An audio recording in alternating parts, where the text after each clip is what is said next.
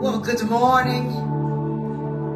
Happy Monday, everybody. Hope all is well with you today. Welcome back to our Better Me series. We are in the season of giving thanks for all of our blessings and favors from God and for the people who He has placed in our lives, etc.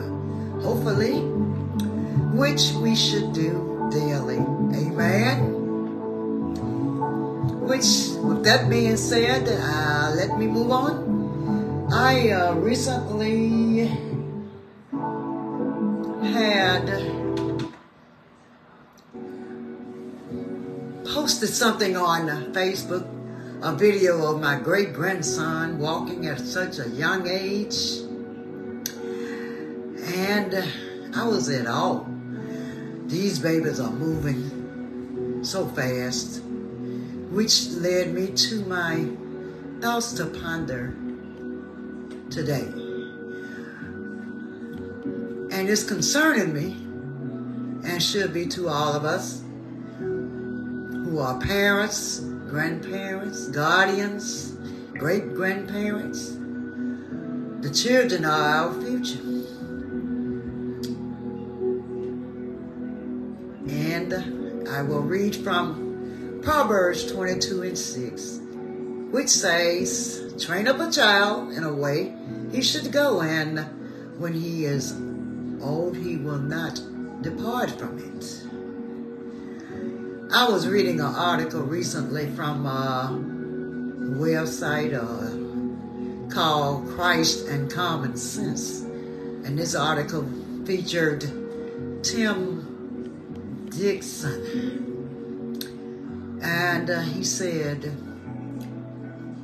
he was talking about really understanding what this Proverbs really mean. And he said, in its original context, it reveals that it is a warning to parents that if they allow their children to have their own way, they will not depart from that foolishness when they are older.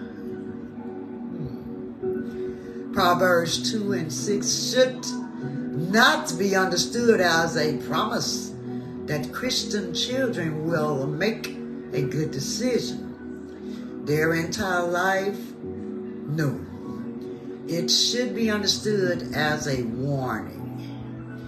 If parents don't discipline their children, in a wise way, then their kids are going to make foolish choices and continue to do so when they grow up. The discerning parents is always of this and carefully considering how to guide the child to become self-aware and self-controlled to to that. He will learn to make wise decisions in his youth and continue to do so the rest of his life. Well, that's common sense. I got that. But I was disappointed that he didn't really go into the importance of having Christ in their lives. Truthfully, the process of training up a child must also include educating them in the Word of God.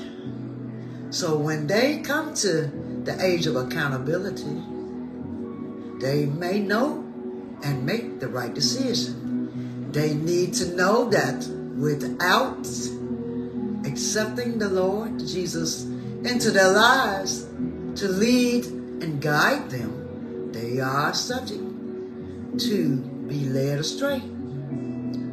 And that's a decision that they have to make. I remember, and y'all may remember too, when I was in elementary school,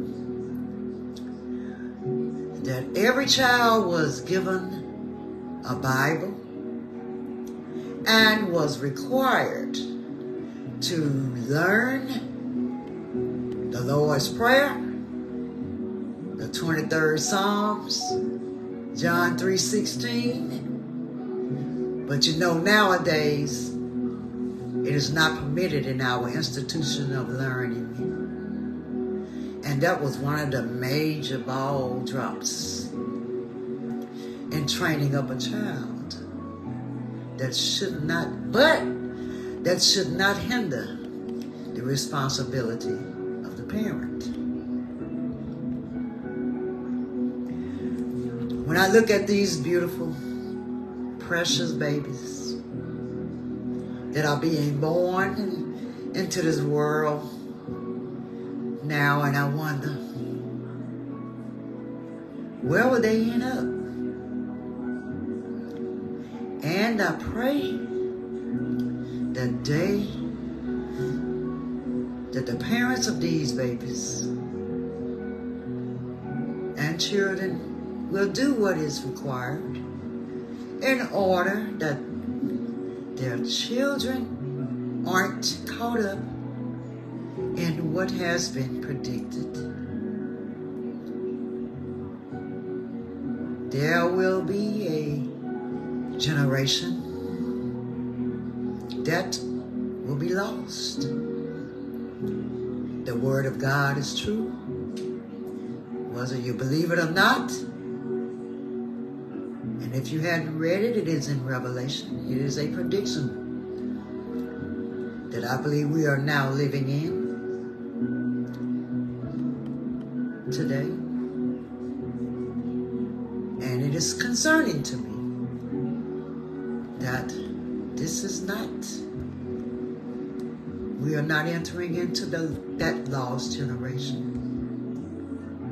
As I look at our young people being targeted today, it, it, it saddens me. And parents, we got to take hold of our babies and children right now that they may not be a victim of this lost generation that is was predicted. And with that being said today, my prayer today is that God will continue to bless you and render every need according to his will.